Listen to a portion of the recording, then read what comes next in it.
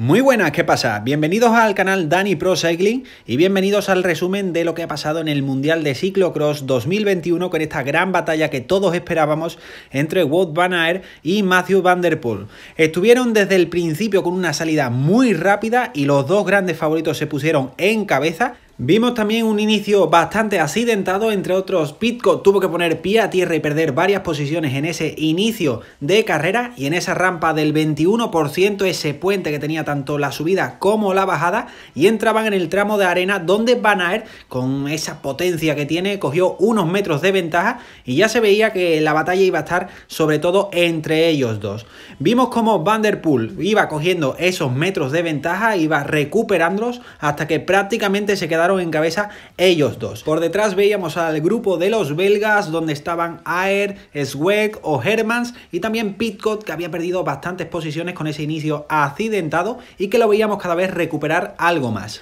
Después de esa primera vuelta ya nos dábamos cuenta que esa batalla que todos estábamos esperando la íbamos a vivir, Van Aert contra Van Der Poel y los demás iban a jugar las medallas. Y empezaron los fallos. Primero, el primer fallo de Van Der Poel. Tuvo que poner pie a tierra y correr por el tramo de arena, mientras Van Aert cogía esos metros de ventaja que intentaba mantener. También vimos ese segundo fallo de Matthew Van Der Poel en ese tramo del velódromo donde tuvo una caída y todo parecía indicar que la carrera estaba para Van Aert mientras mantuviera la potencia y esa distancia que la verdad era bastante grande después de esa segunda vuelta. Por detrás veíamos como Pitcock iba recuperando y Matthew Van Der Poel en un principio no conseguía quitarle nada de tiempo a Van Aert. Pero de repente vimos como los segundos empezaron a caer, como Van Der Poel iba cogiéndole metros a Van Aert, hasta el momento que llegó a cogerlo después del tramo de las escaleras y todos pensábamos que estaba pasando, si se estaba desinflando Van Aert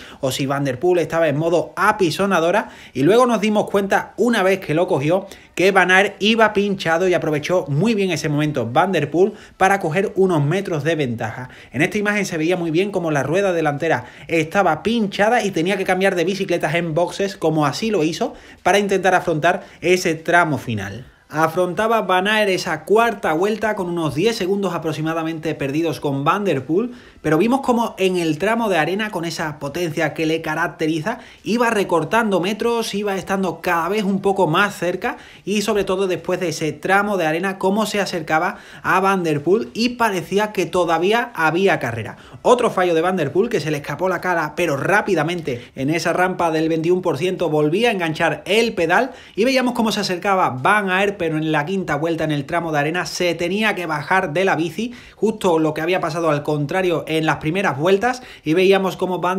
empezaba cada vez más a coger algo más de distancia, mientras veíamos por detrás que Tom Aers tenía esa tercera plaza, Pitcock con una gran remontada lo cogió y le intentó atacar, pero finalmente Aers se pudo ir hacia adelante para conseguir esa tercera plaza. Veíamos como hasta el final de la carrera ya prácticamente se mantuvo esa diferencia e iba aumentando vuelta a vuelta y sobre todo Van Aert que por el esfuerzo del pinchazo tuvo que hacer un sobreesfuerzo que le impidió poder acercarse a la victoria. Gran Van Der Poel que llegaba relativamente tranquilo con más de 30 segundos de diferencia con Van Aert y de esta forma podía celebrar su tercer título consecutivo y cuarto título mundial de ciclocross levantando los brazos en una carrera que se le había puesto en contra prácticamente desde el principio pero sabiendo sufrir, sabiendo remontar y aprovechando el momento para hacerse con otro título mundial contra Van Aert que también ha hecho un carrerón pero esta vez ha tenido peor suerte. Tercer lugar para Aerts y Pitcock que llegó en cuarto lugar después de una remontada brutal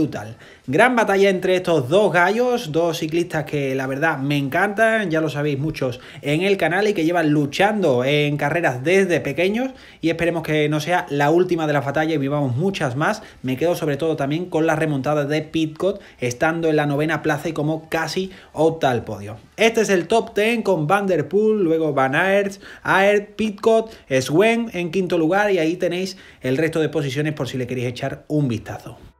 Pues hasta aquí el resumen, esta noche volvemos a Enciclismo al Detalle a las 11 horas española para comentar todo lo que ha pasado con un poquito más de calma. Lo vamos a hacer en Twitch seguro y quiero hacerlo también en YouTube, pero muchos sabréis que ayer falló YouTube y intentamos hacer esta retransmisión en las dos plataformas y se ve que YouTube falla cuando no se hacen un poco las cosas como ellos quieren y no pasa nada, pero como esto sigue así, pues acabaremos solo en Twitch, así que lo dicho, vamos a estar en Twitch seguro y vamos a ver en YouTube si hoy tiene ganas de funcionar o no, pero la cosa cada vez pinta peor en los directos aquí en, YouTube, así que os recomiendo que, que me sigáis, abajo lo tenéis, twitch.tv barra DaniProCycling y ahí me encontraréis. Muchísimas gracias, nos vemos esta noche, no falléis y nos vemos en el próximo vídeo.